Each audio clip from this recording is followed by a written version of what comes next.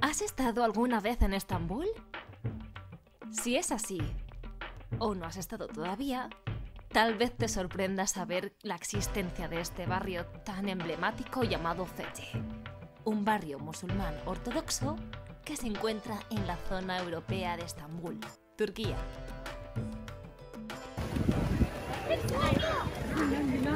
En este vídeo os enseñaremos hombres vestidos de otra época, mujeres aún ataviadas de vestidos largos y negros, y niños vestidos con ropa tradicional de la época otomana musulmana. Bienvenidos a un nuevo vlog de Oh My Heaven. Fethiye, el barrio musulmán ortodoxo de Estambul. ¿Qué? ¿Preparada? Lo que Yahya quería preguntarme en realidad era si estaba lista para dejar Turquía y volver de nuevo a España. No, no lo estaba. Hemos pasado un mes viajando por Turquía, enamorándonos de cualquier lugar, por muy inhóspito que parezca, probando su comida, conociendo su gente, volviéndonos loco con todos los restos otomanos que nos han dejado en este maravilloso país. ¿Cómo iba a estar preparada si en el último día habíamos descubierto a Fethiye? El barrio que más nos ha cautivado de toda Estambul. Gracias a Nerimen y Nedim, una maravillosa pareja española que viven actualmente en Estambul, concretamente en este barrio llamado Fethiye, nos contactaron para salir con ellos y conocer un poquito la zona. Así que cogimos el coche y nos dispusimos a ir un viernes a quedar con ellos, justo el último día de nuestra estancia en Turquía.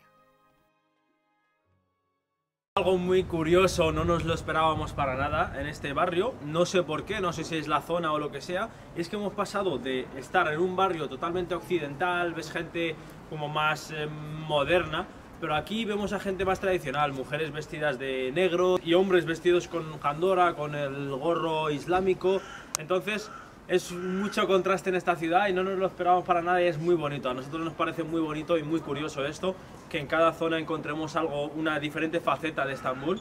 Y nada, vamos a seguir explorando estas calles que son muy interesantes. Además de atisbar a hombres vestidos con túnicas y a mujeres también, vimos que también los niños llevaban la misma vestimenta con esos gorritos tan monos que les quedaban estupendamente. Parecía que estaban sacados de un cuento medieval. Y cuando nos acercamos a la gran mezquita de Fethiye, nos impactó su inmensidad. Era enorme. No os imagináis lo pequeñitos que nos sentimos y, y ciertamente pertenecía a Muhammad al-Fattah, el que abrió esta ciudad. No podía parar de contemplar y admirar la belleza que tenía esta mezquita. Sin duda, creo que es una de mis favoritas de toda Turquía.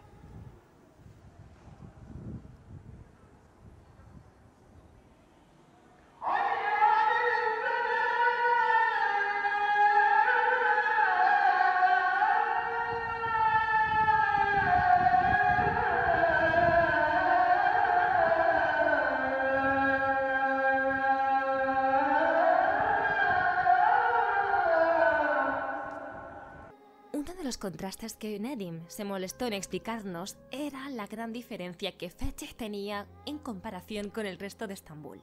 La gente no tenía absolutamente nada que ver con los demás. Era gente más conservadora que echaba de menos la esencia otomana que había en su época. Echaban de menos ese estilo de vida, esa unión islámica que hubo en su momento. De hecho, en la mezquita no paramos de observar que todo el mundo iba a la mezquita justo en la hora del rezo.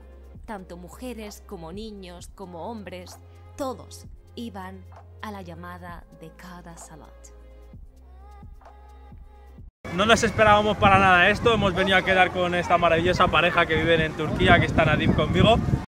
Estamos en el barrio de Fachi y nosotros nunca hemos estado aquí. Lo que os decíamos antes de que notábamos que la gente estaba vestida como más conservadora, islámicamente pues más eh, conservador. Y justo nos acaba de explicar eh, Nadim que eso, que estamos en uno de los barrios más eh, conservadores. Para mucha gente dicen eh, que es como radical, pero no nos gusta esa palabra. ¿Por qué no decís conservador? Incluso si decís ortodoxo, fíjate. Un musulmán radical está fuera del Islam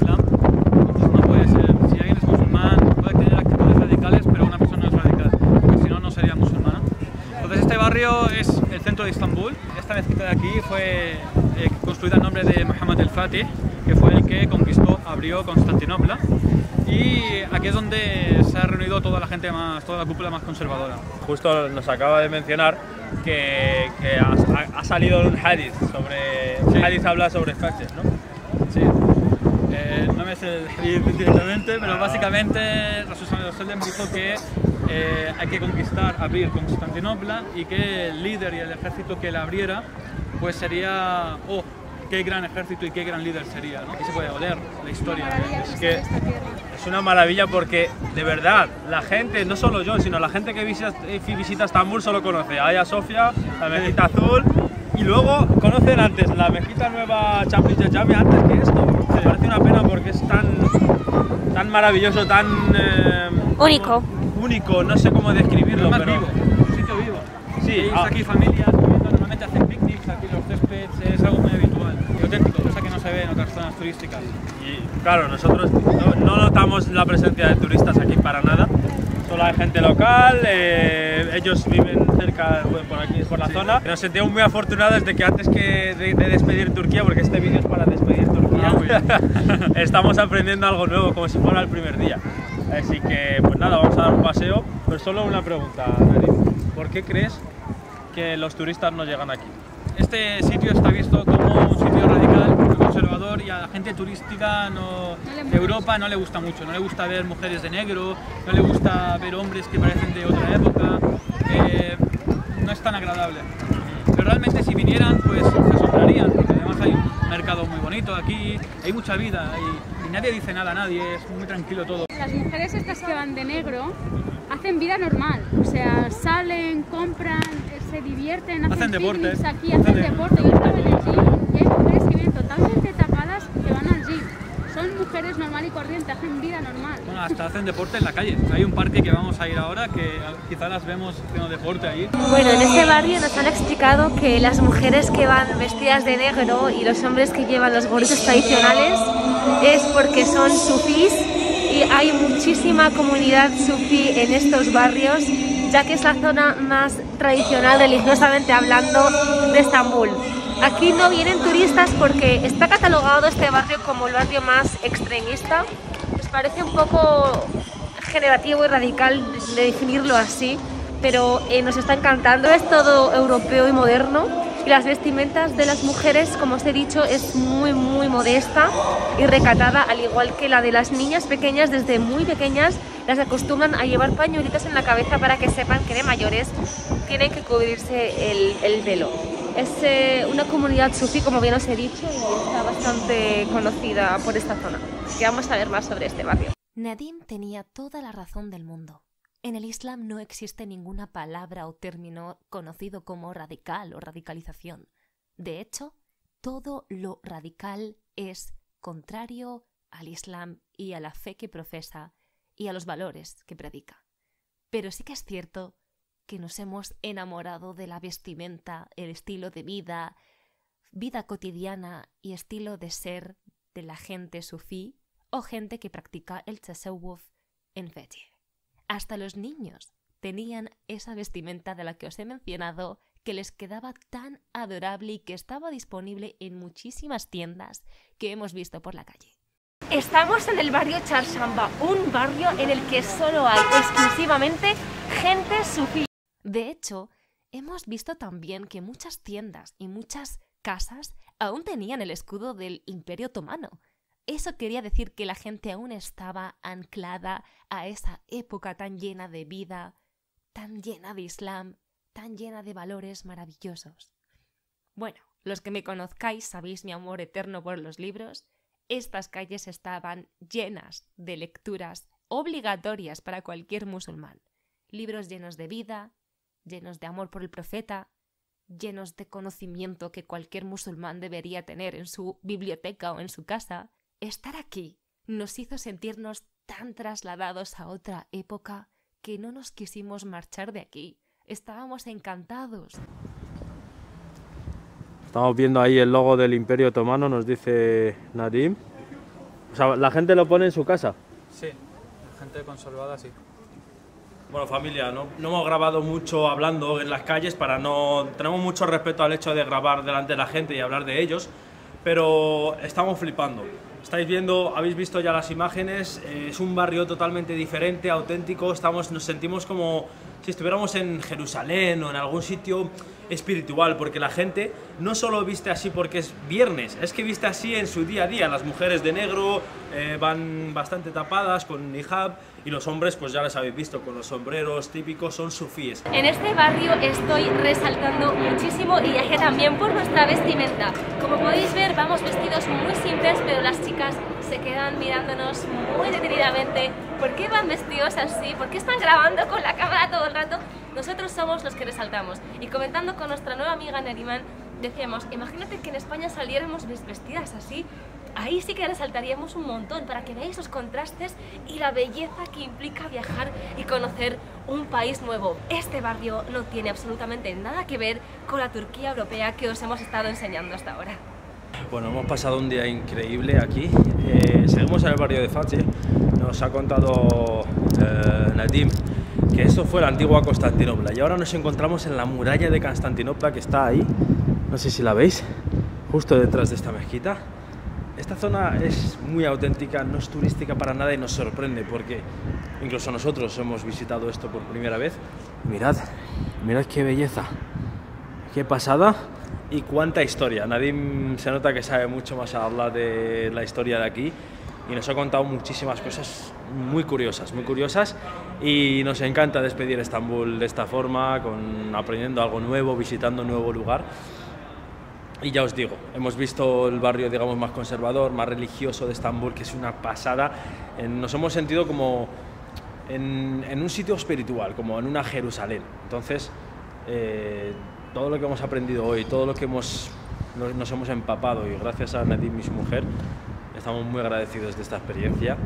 Y mirad, os vamos a enseñar esta mezquita porque es increíble, mashallah.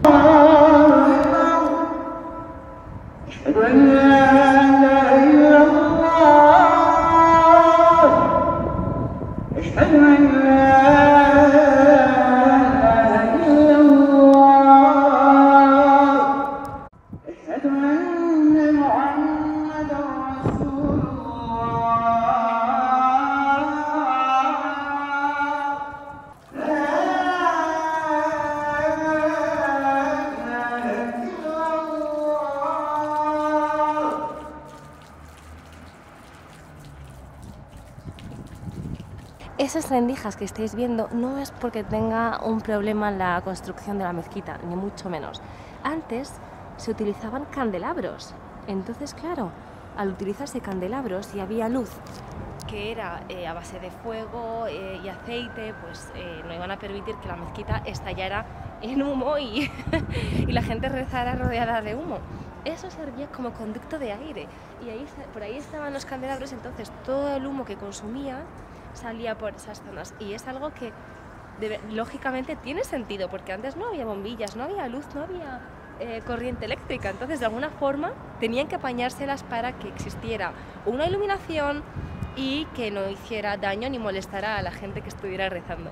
De verdad, me parece un dato muy interesante que jamás se me habría ocurrido. Es muy, muy, muy, muy necesario saber estas cosas.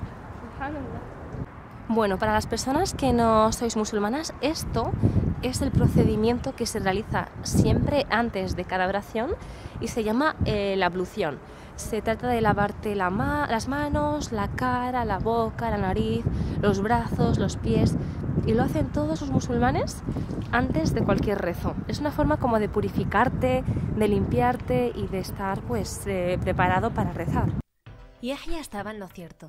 Por mucho que intentemos describir nuestros sentimientos o nuestras emociones, no vamos a parar nunca, porque es algo que jamás podríamos descifrar ni encontrar unas palabras con las que hablar de todo lo que hemos vivido en este día con nuestros nuevos amigos. Les damos un especial agradecimiento y les dedicamos unas palabras de amor, cariño y apreciación, porque gracias a ellos hemos aprendido muchísimo hemos conocido a dos personas salijas que nos han aportado un montón en nuestra nueva experiencia. Gracias a ellos hemos visto la belleza de Fetih.